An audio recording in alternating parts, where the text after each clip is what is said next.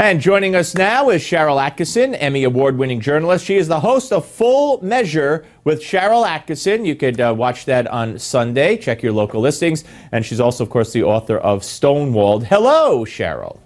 Hi, Steve. How are you? I'm doing well, thank you. All right, first of all, I want to talk to you a little bit. I know you on your show coming up this weekend, uh, you have a, a, a piece on, on, on, Donald Trump and how all the experts kind of got it so wrong. Before you talk about that, um, I don't know, is this are we going to look back? I hope not. God forbid that, that this uh, white powder letter, threatening letter sent to Trump's son, warning his family. I mean, is this a, a new, uh, you know, a new dimension to this whole thing now? I guess. I mean, I think it's to be expected the way the rhetoric is dialed up. Any crazy nut could send any candidate on either side uh, white powder and a threatening note.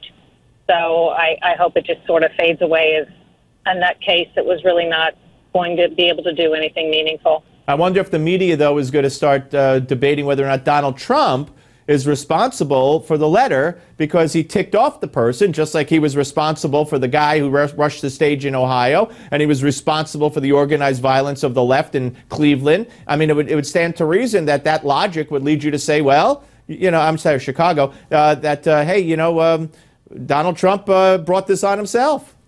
Well, I have noticed how um, when anything happens involving Trump, he's blamed for anything bad. But if similar things, playing my substitution game, were to happen with another candidate, I don't think they'd be blamed the same way. When he, everybody's saying he warned of riots, and in fact, if I said I was worried about a riot coming up because of some circumstance, it certainly doesn't mean I think that I was would be causing the riot, but that's how Right, you're not calling for it. it. Right, you didn't say people should riot. Yeah, well, that's that. So we're looking at the old double standard, right? Yes, but I, I would say it's been interesting to observe from someone in the media how the media coverage has gone, and yet, um, as I wrote in a blog the other day, everything like this that happens and the coverage that comes out of it, to the extent that it is sometimes not fair, seems to work in his favor because that's his base support to begin with. So the people who like Trump see through that sort of coverage, and I don't. It doesn't seem to hurt him or stick with him with his core supporters.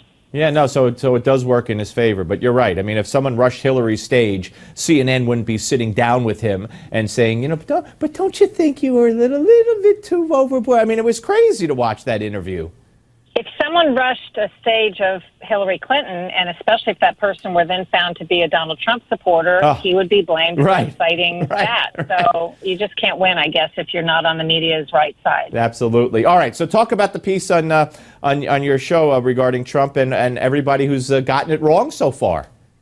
We're just taking a look back um, with Howie Kurtz, and we spoke to him and looked at some of the older clips from people back starting last summer who said almost unequivocally that he could not make it was not long for the campaign, would only last a few weeks, few months at the most. And we just kind of dig into how everybody could be so wrong. This is probably the wrongest that the most people have been about any candidacy. Yeah, no, I, I couldn't agree with you more. I mean, uh, people don't know what to do. And now, how do you feel about the uh, every day now, the organized efforts and Erick Erickson and, and Bill Kristol and everybody to, to try to come up with an alternate ticket? Well, it'll be interesting to see how it turns out. I'm not a political analyst, but it's it's fascinating. I don't know where how it ends because there hasn't been a path laid before with uh, this type of thing going on. So I, I really don't know what's going what would happen if they ended up going with another candidate if Trump had the majority or at least was close to the majority. Who, who knows? It is certainly possible. You also have a story coming up on Full Measure uh, this weekend about Cubans coming in through the Mexican border. What's going on? We, we're continuing our border coverage. We're doing quite a bit of that. I was down on the Arizona border, but I got a tip that Cubans are flooding across the Mexican border and checked it out, and lo and behold, yes. We had maybe on a normal year in the past few years, you'd have 7,000 Cubans come into the U.S. They have a special status. If they get one dry foot on U.S. soil, they get to go ahead of all of the refugees. They don't have to make an individual case boom, they're in, you know, federal benefits, fast track to legal status, and so on. Well, normally 7,000 come across the last few years, but we had 40,000 last year, most wow. of them coming through Laredo, Texas.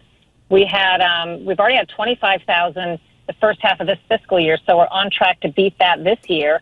And we spoke to a Democratic congressman who said the administration was trying to keep this quiet. It, it was happening, a lot of it in his district, and the only way he knew about it was uh, he he just heard about it, and he couldn't get answers from the Obama administration. And it turns out it, this is a really big issue. Yeah, no, absolutely. We look forward to that. Also, you wrote a piece. Uh, this goes back to what you were talking about the media. Uh, who, who else? You wrote a piece. Uh, eight Trump enemies helping him succeed. Um, who who else besides the media, which it's backfiring on them? But who else? Well, I I think into these. One of them was the Chicago protesters. One of them was the Pope. One of them was Mitt Romney.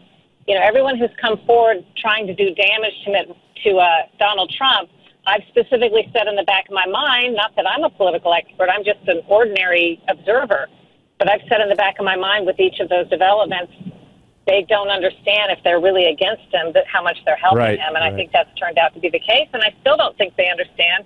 When you watch uh, sort of establishment Republicans go from endorsing one candidate to the other, they don't seem to notice that they're kind of killing out those candidates one by one with their endorsements and helping Trump. So, no, that's absolutely you know, true. It's interesting to watch. That's absolutely true. Okay, thank you very much, Sharyl. Thanks, Steve.